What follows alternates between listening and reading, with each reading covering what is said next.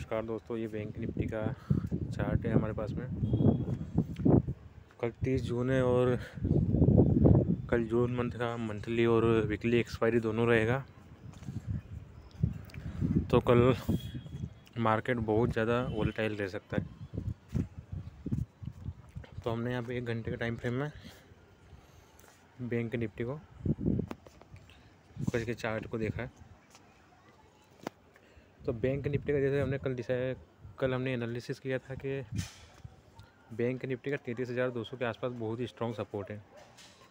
और bank Nifty ने उसको रिस्पेक्ट भी किया, उसको ब्रेक भी नहीं किया।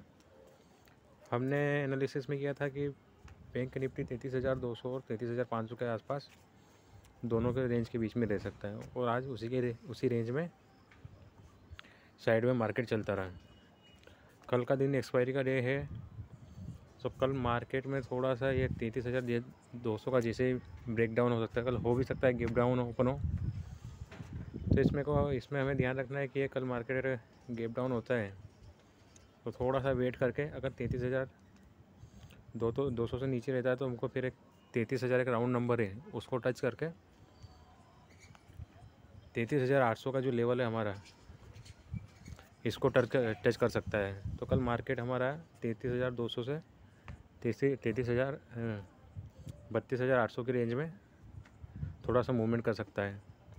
तो देखना पड़ेगा मार्केट कल कितना गेप डाउन ओपन होता है या गेप अप ओपन होता है। फ्लेट मार्केट ओपन होता है तो तैंतीस हज़ार दो सौ का टूटने का ब्रेक होने का वेट करेंगे।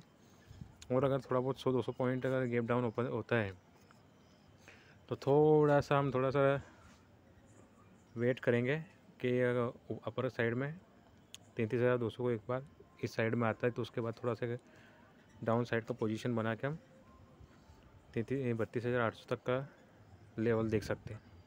देखते हैं क्या होता है कल। Thank you.